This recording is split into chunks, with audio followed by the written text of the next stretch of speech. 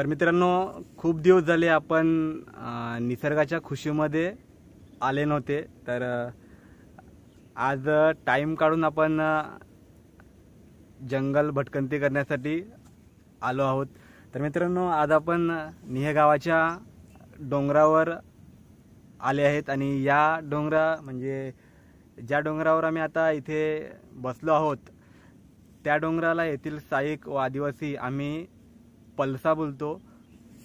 पलसा यासाठी कारण येथे पळस या नावाची झाडं जास्त प्रमाणे जास्त प्रमाणामध्ये आहेत म्हणून. आणि गावातील म्हणजे आमच्या गावाला पालघर जिल्ह्यामधील निहे गाव गावाला लाभलेला जंग हे जंग हे जंगल व ही पर्वतरांगापैकी सर्वात जास्त भाग आवडणारा म्हणजे पलसा. कारण की येथील जागा पूर्ण सपाट सपाट देखील आहे. तुम्हाला मी दाखवतो तिकडे गेल्यानंतर. हां सपाट आहे मैदानी आहे. येथे आम्ही पहिला दोन तीन वर्षापूर्वी प्रॅक्टिससाठी देखील यायचे कराटेची प्रॅक्टिस करण्यासाठी. तर आणि येथे दुसरी जागा म्हणजे आम्ही जेव्हा शाळेमध्ये असताना देखील येथे आम्ही मजा मस्ती करण्यासाठी या स्पॉटवर यायचे.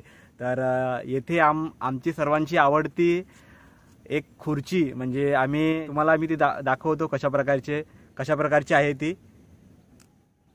जेव्हा इथे बसायचे खुर्ची टाईप एकदा उठ ना एकदा उठ मित्रांनो आम्ही जेव्हा इथे यायचे या रानामध्ये तेव्हा या खुर्चीचा आनंद नक्की घ्यायचे.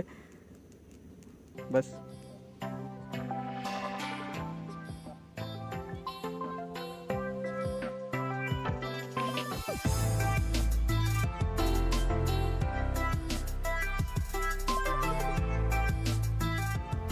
मित्रांनो येथे बसण्याचा आनंद वेगळाच आहे. कारण की एकदम आरामात तुम्ही बसू शकता. जशी काय आराम खुर्चीत पाय लांब ठेवून आणि टेकण्यासाठी देखील. आणि इथून जे पुढचा नजारा दिसतो तो तुम्ही बघून तुम्हाला वेगळाच आनंद मिळेल. तुम्हाला मी दाखवतो. तर मित्रांनो हे ही बसण्यासाठी दोघांसाठी खुर्ची एकदम कम्फर्टेबल आहे. एकदम आरामात इथे बसू शकतो. आणि समोरचा नजारा बघून खूप चांगलं वाटते. सकाळ आता सकाळचं वातावरण आहे. साडेनऊ दहा वाजले असतील पण एकदम सकाळचं वातावरण आणि इथे आल्यानंतर समोरचा पूर्ण धुका परिसर बघून एकदम छान वाटते. तर मित्रांनो तुम्हाला मी बॅक कॅमेऱ्याने दाखवतो समोरचा नजारा कसा आहे. तर मित्रांनो आपण मागे ज्या प्राण्याची माहिती बघितली त्या आपण त्या कडेला गेलेलो होतो. ते त्या साईडला गुफा वगैरे आहेत आणि त्या साईडला. आणि आपण आता ज्या खुर्चीवर बसलो आहोत आदिवासी रानमाणसाची जी खुर्ची आहे आम्ही येथे गेले पाच वर्षे येऊन इथे मस्ती करतो आणि या खुर्चीवर बसतो. येथून समोरचा नजारा ह्यासारखा दिसतो. तुम्ही बघू शकता. पूर्ण गाव व शेती आणि तुम्हाला समोर जो गड दिसत आहे चौकोनीसारखा तो असावा किल्ला आहे. त्याचा व्हिडिओ देखील आपण बनवला आहे. मित्रांनो या या डोंगरावरून आसावा किल्ला काळदुर्ग किल्ला तांदूळवाडी हे तिन्ही गड दिसून येतात. तर मित्रांनो या खुर्चीचा आनंद घेण्याची मजाच वेगळी.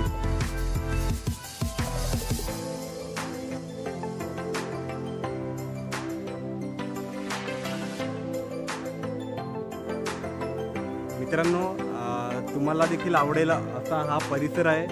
या स्पॉटवरून पूर्ण गाव व आजूबाजू आजूबाजूचे डोंगर रांग देखील पाहता येते. आणि आता पुढे एकदम सपाट भाग आहे. या साईडला आपण नाईट कॅम्पिंग किंवा डे कॅम्पिंग देखील करू शकतो. तर आम्ही पुढे विचार केला आहे की या जागी येऊन कॅम्पिंग करण्यासाठी तुम्ही बघू शकता परिसर पूर्ण ह्या साईडला प्लेन जागा आहे. आणि चारी बाजून ह्या साईडला डोंगर डोंगर रांग आहे. पण एवढंच की इथे पाण्याची सोय पिण्याची पाण्याची सोय नाही कॅम्पिंग करण्यासाठी. पूर्ण ओहोळ वगैरे डोंगराच्या या मधल्या खोऱ्यामधून वाहतात.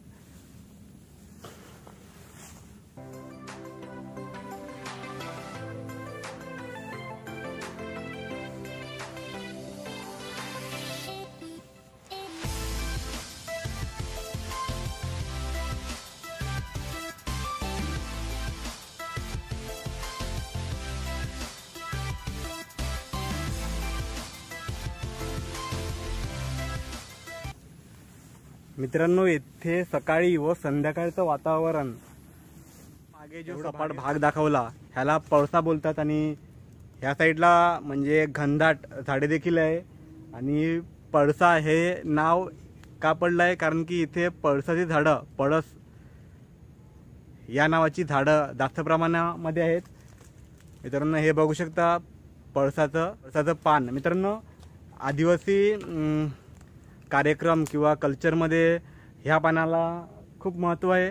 म्हणजे हे पान वापरलं जातं भाजीसाठी म्हणजे भाजी देण्यासाठी किंवा काही रीत वगैरे असतात तेव्हा देखील पळसाचं पान वापरलं जातं आणि येथील स्थायिक समूहाने आदिवास आदिवासींनी पूर्वीपासून या पूर्ण पठार किंवा सपाट भागाला पळ पळसा असे नाव दिले आहे. तर मित्रांनो आताच आपल्या भावाने एक चांगली माहिती सांगितली. अजून मित्रांनो पळसाचा पान हे बोल. पळसाचे पान हे एखादी वस्तू जर दूरवर टिकून ठेवायचं म्हणजे दूरवर टिकून ठेवायची असेल.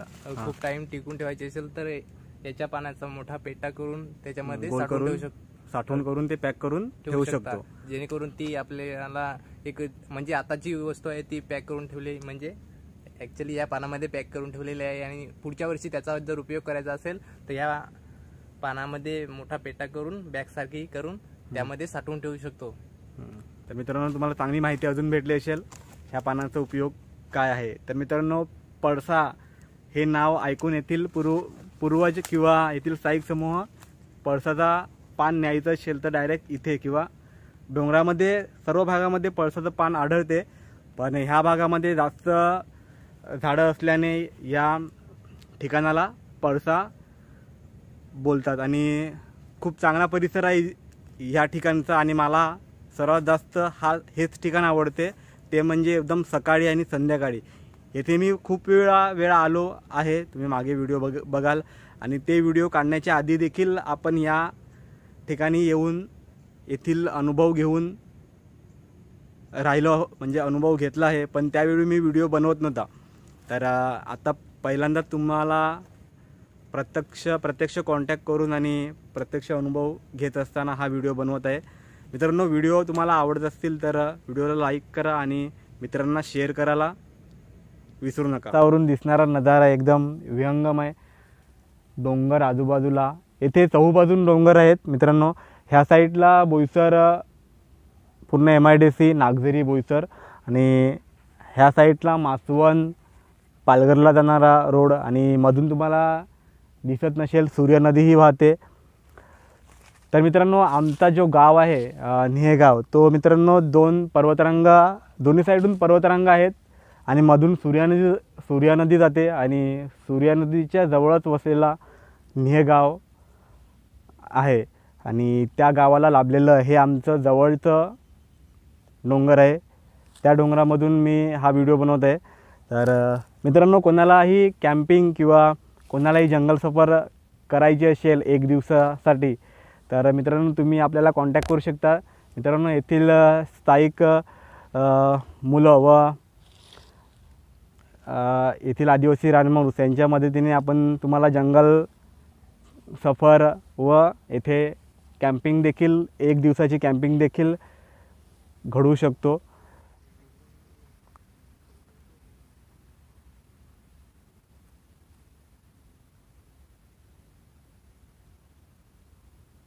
मित्रांनो ही जागा एकदम विहंगम आहे आणि खूप सुंदर असं दृश्य ह्या ठिकाणावरून आपल्याला बघायला मिळते.